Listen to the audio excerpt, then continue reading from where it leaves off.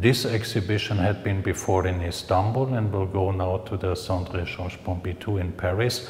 And in the meantime, it is here in Romania. Why is Vasarely important for art nowadays? First of all, um, you can see a lot of artworks here, and you see maybe computer graphics can do the same. But in Vasarely, Vasarely was the first who was playing with the optical perception, with the optical, therefore it is called the optical art. Uh, Vasarely is born in Pécs, and Pécs was a long time, I think approximately 300 years um, Turkish.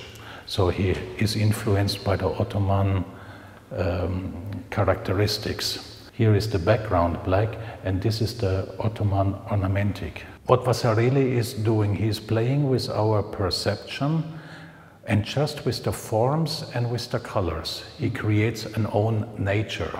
Now you have another model, I have another model, your colleague have another model, but we choose one. It doesn't matter because all, it does not matter where you look on it, it the center is here. And this center is like an orthodox icon, is the center, it is fixing you. And again, it is soaking you.